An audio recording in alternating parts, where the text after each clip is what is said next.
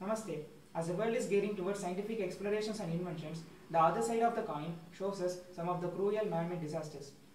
One of the dangerous man-made disasters is fire accident. We personally believe that there are two basic reasons behind most of the fire accidents. One, human negligence and two, lack of surveillance.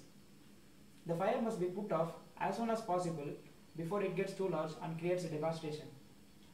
The main driving force behind us was a famous proverb prevention is better than cure. It made us to create an autonomous mobile fire extinguisher. The data provided by the fire statistics of CTIF suggests that 58% of the cost relating to any fire accidents is spent only on the service and maintenance part. Hence, we decided to combine the surveillance and extinguishing part into making and the, thus came the inception of our obstacle avoiding multi-purpose fire extinguisher robot. Thank you. Now, let us take a sneak peek into the organs of our robot. Our robot runs basically with the help of a Tiva C-series microcontroller and the bot is powered by a 12 volt battery which mainly supplies the motor, pump and the sensors. Two flame sensors are placed symmetrically at the front to capture the fire signals. Three ultrasonic sensors, one at the front, one at the left and one at the right are placed to detect the obstacles. The L293 is integrated in a small circuit to drive the motors in a desired direction. A 12 volt submersible pump helps in delivering the water to extinguish the fire and a small servo motor is placed in the front to ensure that the water spreads to maximum distance. The four motors are connected with four wheels to ensure the proper locomotion. The sensors obtain 5 volt signal needed to power them from the voltage regulator placed near the motor driver. To make it multi-purpose, a LPG gas sensor is placed with signals when there is a concentration of LPG, butane or propane gases. A buzzer is also placed which will help in signaling the surrounding for help. Now we can see the working of LPG sensor followed by the obstacle avoidance and fire extinguishing part.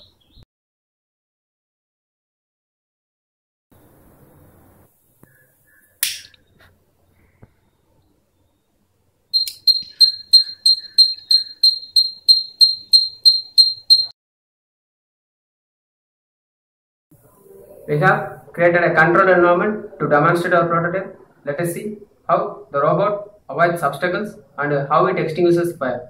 In this case, our robot overcomes a known obstacle and a sudden obstacle in a in our simple path. The three ultrasonic sensor placed inside the bot will help in choosing the right path.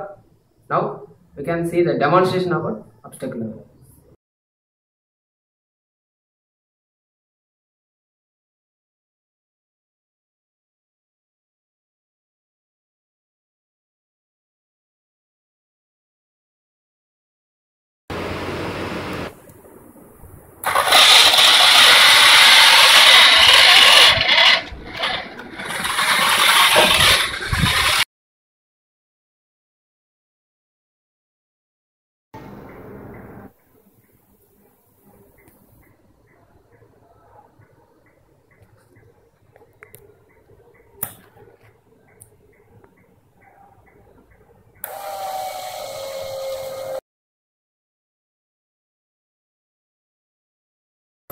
Uh, now let us see what happens when the robot can't extinguish fire on its own.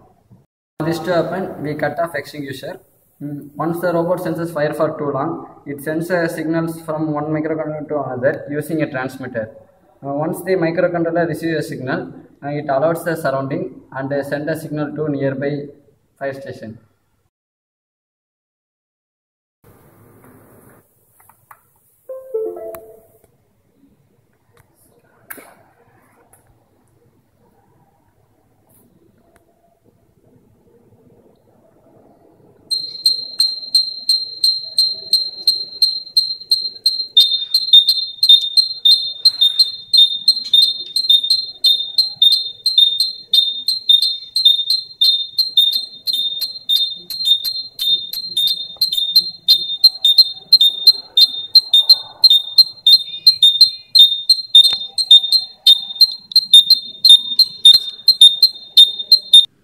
In future, we have planned to use a camera module for better fire detection and surveillance purpose using image processing technique.